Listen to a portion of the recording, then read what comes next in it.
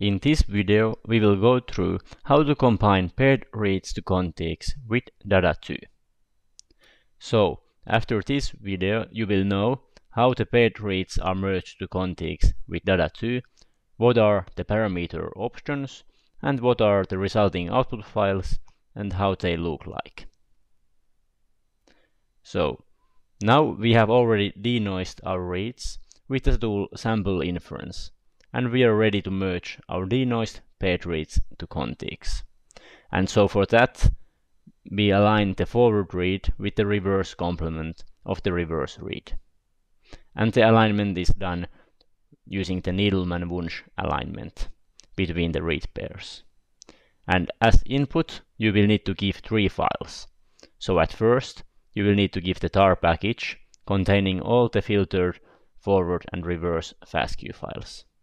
And this tar package is the same tar package you used before to create the dada class objects with the sample inference tool. And then in addition, you should give the two RDA objects containing the dada class objects. And this tool is based on the merge pairs function of the DADA2 library. So now we can move on to select the parameter options. And at first, by default, the alignment needs to be at least 12 base pairs long. And there should be no mismatches in the overlap region. And those parameter options are quite strict, but keep in mind that we have already denoised and filtered both of our reads, and those reads should be now therefore error-free. And of course you can also try to change those parameter values if needed for example if you don't have a complete overlap. But keep in mind that you should preserve the overlap when trimming the reads before. And then in addition there is the possibility to trim off the overhangs. And the overhangs can result when the reverse read extend past the start of the forward read and vice versa. And this behavior is trimmed off by default, but you can set it on, of course. And here you can see a visualized example on the performance of the merge pairs function.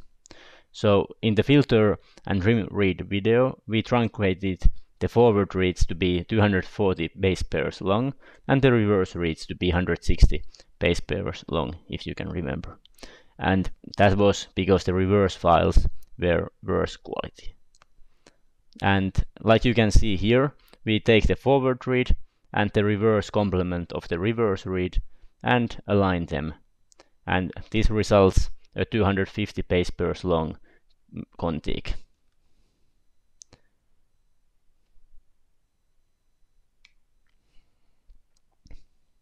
And then at last we can go through the resulting output files.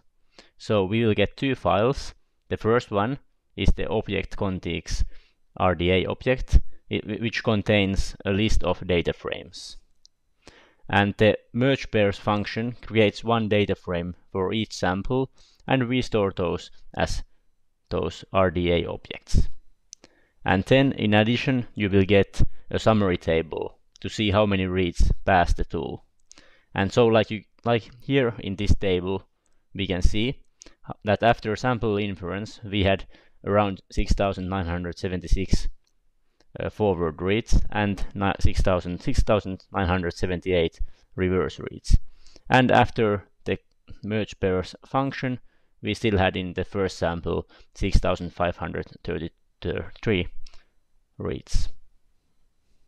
And if you would notice here that many of your reads are lost, then you try to lower the parameter values before, or and you should always double check that you didn't remove the overlap before in the filter and trim part.